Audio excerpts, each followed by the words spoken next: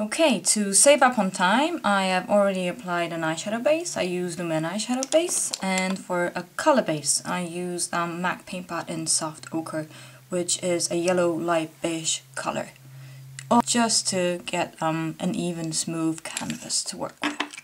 The eyeshadows that I'm going to use for today's tutorial come from this trio by Clinique. This is called Doe-Eyed, it is um, from about two years ago, was limited edition, but you can still get it on eBay. And because Clinique products is not are not as coveted as um, MAC products, you can get it um, just for the retail price that are retail for. You don't have to overpay for it. So um, yeah, so if you really want this, you can get this on eBay. But at the same time, this isn't that unique, really. You've just got a nice, um, um, slightly shimmery highlighter color, uh, silver taupe color, and just a classic taupe color with just a little bit more brown to it than grey and you know it's, it's nothing out of the ordinary. Every single brand makes eyeshadows in these colors. So don't feel that you can't do this tutorial if you haven't got this trio. Um, the first color that I'm going to use is this silvery taupe color. And I'm just using a flat shader brush.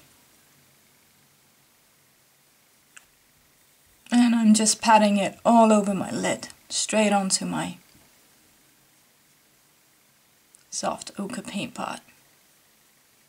I want an even nice layer. This has quite decent pigmentation for, as for a Clinique eyeshadow, which often, most often they're not very pigmented, but this is kind of a pleasant surprise. So I'm just putting that all over my lid and slightly into my crease. With a tapered blending brush, I am going to take um, the darkest from the colors in this palette, so this True Taupe color, just on the ends of my brush. I can put quite a lot on because these are Clinique eyeshadows, so not they're not like terribly pigmented, so it's okay to put a lot on. And I'm just going to blend that in my crease, above my crease slightly, and I'm just going to concentrate on the outer corner of my eye for a little bit of a contour.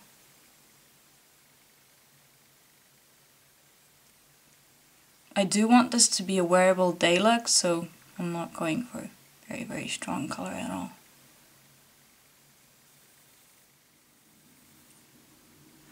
I don't know if other people who do tutorials on YouTube have this problem, but um, I look in my LCD panel while I'm doing my tutorials and I think, wow, that's really bright. It's kind of brighter than I wanted it to be.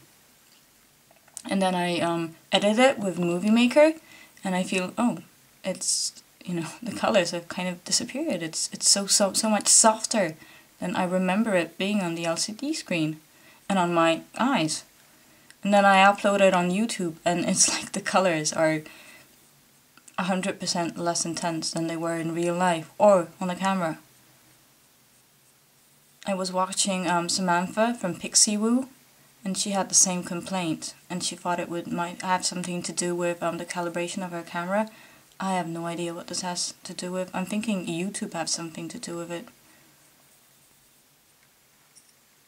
But it's very disappointing.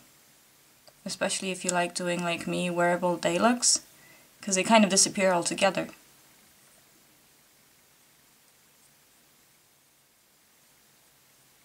So I'm just blending a little bit of the darker contour color near my lash line.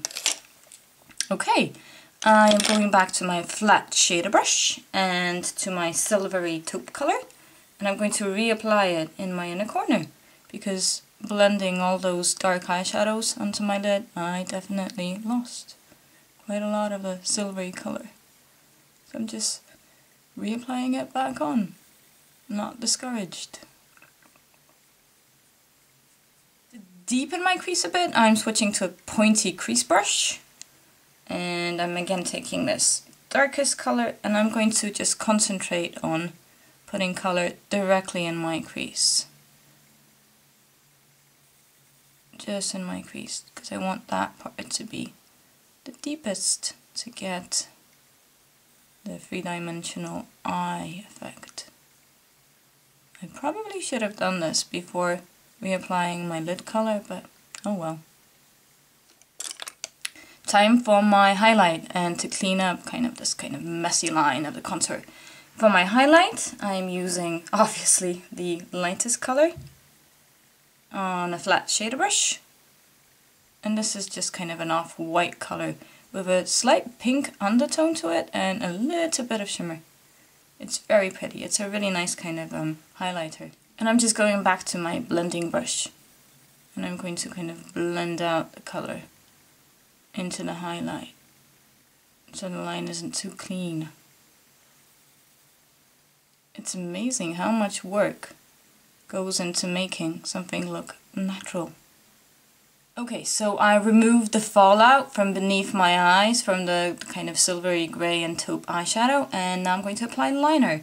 I am using a product by Clinique. This is their um, Brush On Cream Liner in True Black.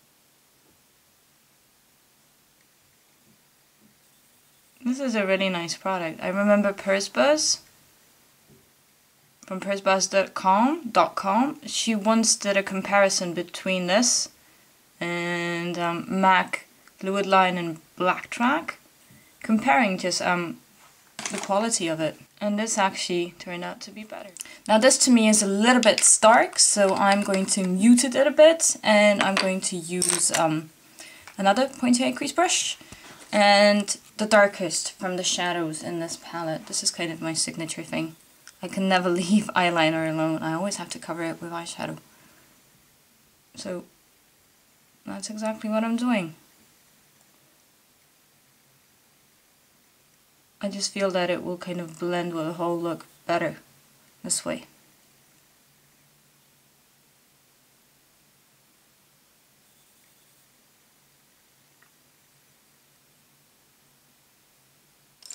For my lower lash line, I'm going to use um, the silvery taupe color, just for some kind of continuity. So I'm just putting this silvery taupe color all over my lower lash line. So it kind of ties in with my upper lash line.